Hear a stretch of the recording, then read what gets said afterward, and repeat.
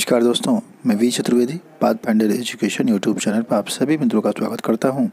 मित्रों, आपसे निवेदन है हमारे चैनल पर आप प्रथम आ रहे हैं, चैनल को लाइक करें, शेयर करें, सब्सक्राइब करें, तथा बेल आइकन भी दबाएँ, जिससे शिक्षा जगत संबंधित जो भी महत्वपूर्ण अपडेट हो, हमारे चैनल के माध्यम से यथाशीघ्र प्राप्त हो सके। जैसा कि आज के समाचार पत्रों में सबसे महत्वपूर्ण सूचनाओं में से कुछ सूचनाएँ इस प्रकार से हैं।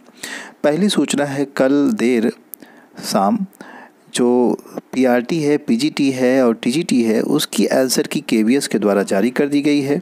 इस पे आप जो आपत्तियाँ हैं, वो अपनी सबमिट कर सकते हैं। तो इसके लिए आप अपने आंसर की देख लीजिए, जो कि आपकी 12 तारीख तक उपलब्ध रहेगी।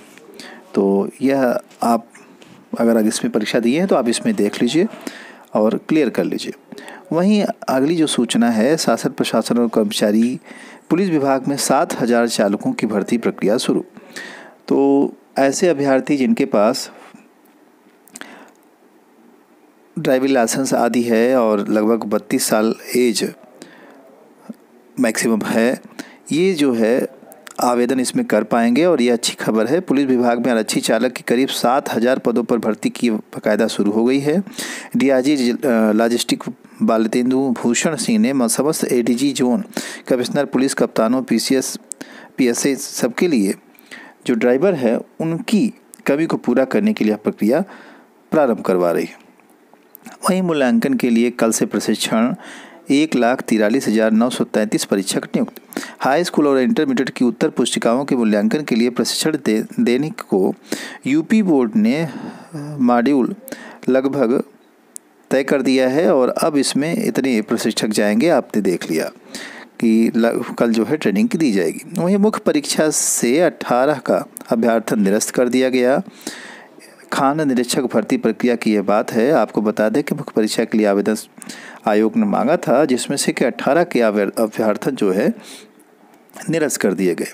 दिया है उत्तर प्रदेश लोक सेवा आयोग ने खान निरीक्षक भर्ती 2022 की मुख्य परीक्षा के लिए आए 18 आवेदनों को गलती के कारण निरस्त कर दिया है। आयोग ने वेबसाइट पर इस बाबत शुक्रवार को नोटिस जारी कर दिया था। विज्ञापन की शर्तें न पूरा करने से संबंध में यह निर्णय लिया गया। वहीं C U T U G के लिए अब 30 तक आवेदन। अब कंबाइंड जो इंट्रेंस हो रहा है, उसके लिए आवेदन तिथि बढ़ा दी गई है। अब यह तिथि 30 तक हो गई है। वे अभ्यर्थी जो ट्वेल्थ पास आउट हुए हैं, उनके लिए अच्छी खबर है कि इसमें 30 तारीख तक आप आवेदन कर पाएँगे। अगली जो महत्वपूर्ण अपडेट निकल के आ रही है वो आ रही है सत्तर दशमलव चार चार प्रतिशत ने दिया स्टेनोग्राफर स्किल टेस्ट। जो स्टेनोग्राफर जो स्किल टेस्ट है उसके लिए स्किल टेस्ट के लिए जो है बताया गया है सत्तर दशमलव चार चार प्रतिशत ने स्किल टेस्ट दिया है। ये स्टेनोग्राफर ग्रेड सी और डी की भर्ती 2022 थी। तो आगे जो प्रक्रिया होगी जल्द ही अपनाई जाएगी। जैसा कि आज के समाचार पत्रों में दिया भी गया है, नया शिक्षा सेवा चयन आयोग जो है, उसको लेकर के आज के समाचार पत्रों में कई सूचनाएँ हैं और यह एक समस्या बन गया है अभ्यर्थियों के लिए क्योंकि इसका समाधान जल्द खोजा नहीं जा रहा है, जिसकी वजह से नई वैकेंसी याद नहीं रही हैं और इसको जो है लखनऊ, इसका हेड ऑफ़िस करने की भी बात कही जा रही है, जिस पर कि अभी कुछ स्पष्टीकरण नहीं है। वहीं देखिए, लाभार्थियों के लिए राशन लेने पर रसीद मिलेगी, मोबाइल पर मैसेज आएगा। ये सारी हाईटेक व्यवस्था की जा रही है, किंतु जो बेरोज़गार युवा है, उसके बारे में विचार नहीं किया जा रहा है, जो कि कहीं ना कहीं योगी सरकार की नाकामी है।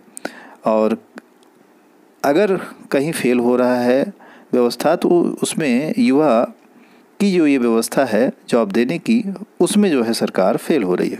नकल पे नकल कसने के साथ साथ रोज़गार के बारे में सोचना और व्यवस्था करना यह सरकार की भूमिका होनी चाहिए, इसमें अहम ज़िम्मेदारी है उसकी। लेकिन यह सरकार इससे भाग रही है। इन्हीं सारी महत्वपूर्ण अपडेट के साथ सूचना सुनने के लिए आप सभी मित्रों का बहुत बहुत धन्यवाद। हमारे चैनल को लाइक, शेयर, सब्सक्राइब करें। Thank you very much